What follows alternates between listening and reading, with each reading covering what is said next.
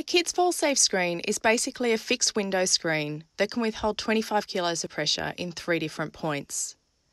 There are various different names on the market, such as Kids Screen, Child Safe, Safe Line, in addition to our own Kids Fallsafe screen.